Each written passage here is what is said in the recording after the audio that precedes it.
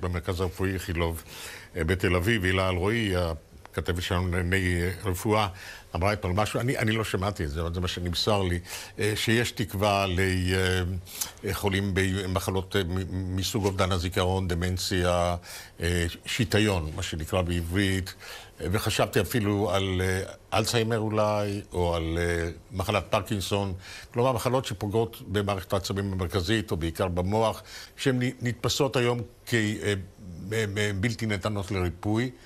ומתברר שיש מקרים שזה לא כך. מה עם המקרים האלה? אז לפני שאני עונה על זה, חשוב מאוד לשים את הפרופורציות. כן. המקרים שאנחנו מדברים עליהם, שהם אה, מחלות שיכולות להיראות כמו מחלות אחרות, ניווניות או דומות, שהן בעצם אוטואימוניות ואנחנו יכולים לטפל בהן, מדובר בקבוצה קטנה של מקרים. מחלות אוטואימוניות זה מחלות שהגוף פוגע בעצמו. נכון. מערכת החיסון של הגוף מתקיפה את מערכת העצבים וגורמת לתופעות כמו ירידה קוגניטיבית, כמו אה, שינויים פסיכיאטריים, כמו אפילפסיה.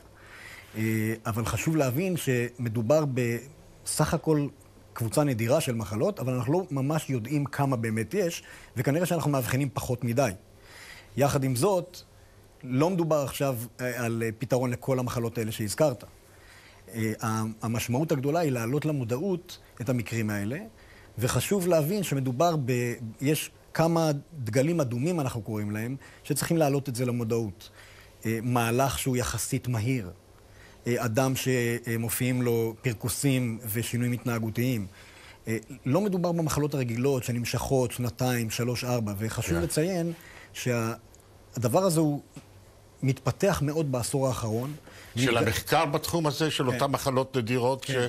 כן, ואז במקרים כאלה, יש ביכולתה של הרפואה היום להשיב את המצב לאחור? יש ביכולתה לטפל, ולפעמים ממש להשיב לאחור. אה, היכולות האלה קיימות, אנחנו באיכילוב כבר עושים את זה מספר שנים, מרפאת הזיכרון שמגיע אליה חולה, והיא רואה שמשהו לא מתאים, הרופאים שם מכירים את זה ושולחים לבדיקות הנכונות ושוללים את האפשרויות האלה. כי נוירולוג שמכיר, העניין הוא זה להעלות את זה למודעות. ברגע שמשהו לא במודעות שלך, אתה לא חושב עליו אף פעם.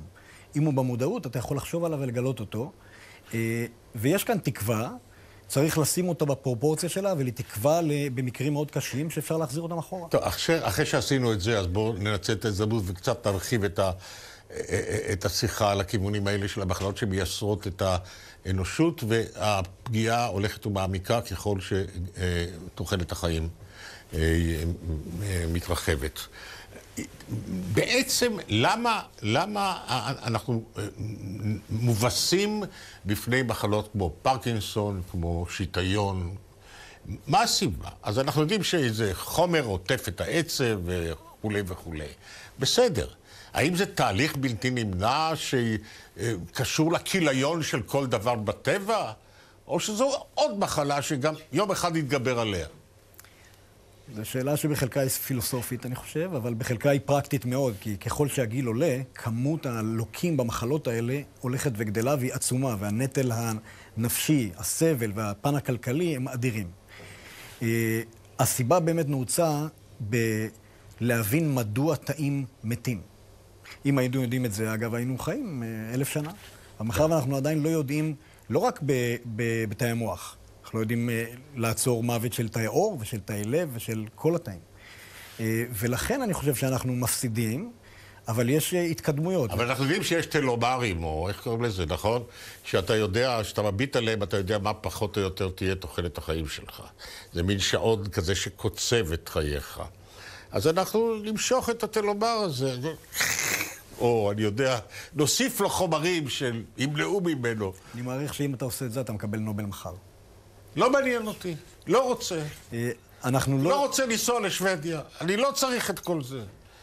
אה, תראה, מה, שאנח, מה שאני אה, אה, מתמחה בו, או מנסה אה, אה, להביא, הוא דווקא את המחלות האלה שאין להן את המהלך הזה שאתה מדבר עליו. כן.